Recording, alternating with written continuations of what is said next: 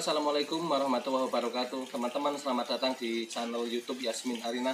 Teman-teman kali ini saya akan memberikan tutorial cara uh, memutar mobil atau parkir mobil di tempat yang agak sempit uh, dengan secara cepat dan mudah dipraktekkan.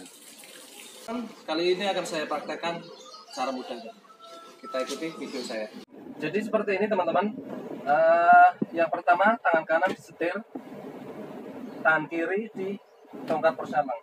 Kalau seperti ini malah justru akan lama. Contoh seperti ini.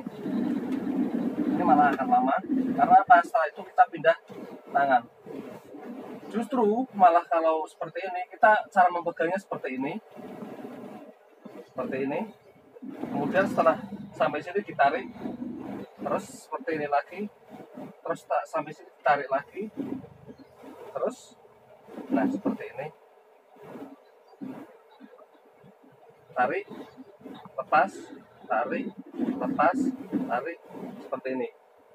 Jadi akan lebih cepat karena kita sudah di posisi uh, tongkat proseleng baiklah akan saya praktekkan seperti ini teman-teman. Kita maju. Kebetulan sudah ada kamera mundur jadi kita tidak khawatir bagian belakang. Seperti ini teman-teman nah seperti ini.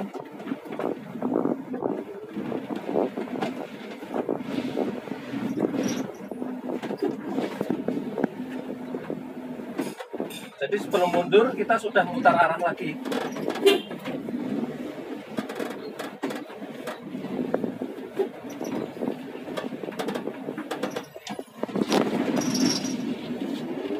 seperti ini teman-teman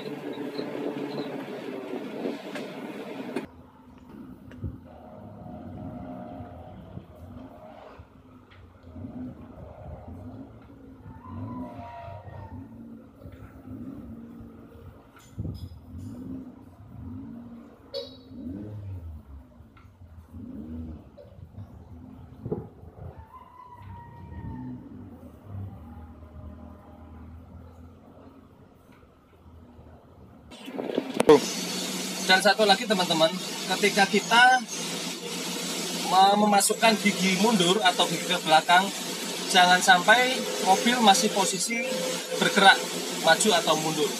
Kalau maju tidak masalah, tapi ketika mundur, usahakan posisi mobil berhenti total. Karena kalau tidak bisa cepat merusak perselen.